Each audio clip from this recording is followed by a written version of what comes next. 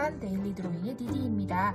오늘은 귀여운 눈사람을 그려볼게요. 그럼 시작해볼까요? 눈사람을 3단으로 그릴 거예요. 먼저 얼굴부터 그려줍니다. 동그라미를 조금 납작한 느낌으로 그려주세요. 여기에 모자를 씌워볼게요. 팔꿈치를 위쪽에서 둥글게 그려주세요. 오른쪽으로 선을 하나 그리고 말풍선 모양으로 끝을 뾰족하게 빼주세요. 끝에 뭉치를 하나 달아줄게요. 모자가 완성되었어요.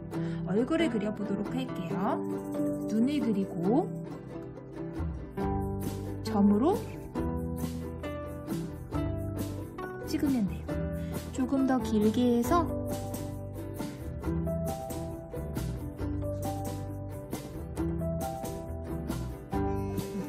눈을 다 만들었고요. 그 다음 이제 코를 그려볼 건데요. 당근을 길게 달아줄게요. 약간 가운데보다 오른쪽에 치우치게 해서 길쭉하게 당근 코를 그려줍니다. 당근의 무늬도 입은 당근 웃는 입으로 크게 그려보겠습니다.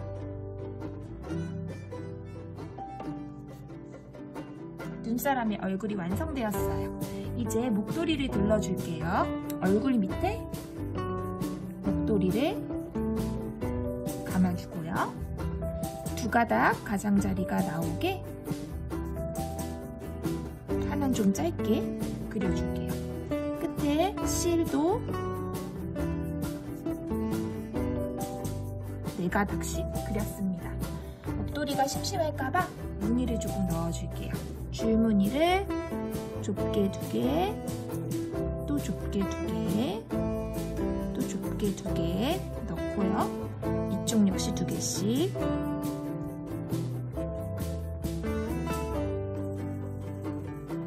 여기는 하나만 그릴게요. 이렇게 해서 완성해 줍니다. 이제 밑에 두 단을 더 그리면 돼요. 몸 부분이 되는 부분은 조금 작게 그릴게요.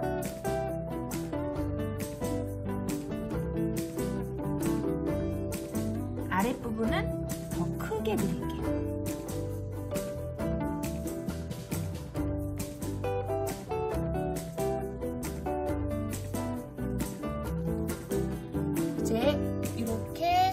눈사람 전체적인 모양이 완성됐으면 팔과 단추를 그려주도록 하겠습니다. 팔은 길게 뻗게 나뭇가지 모양으로 그려주시고요. 손가락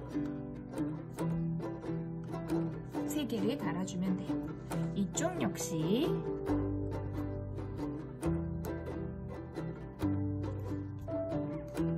손가락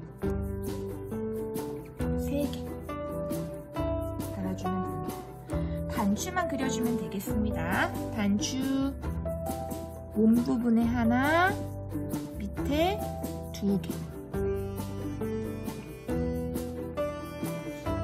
이렇게 해서 눈사람이 완성되었습니다.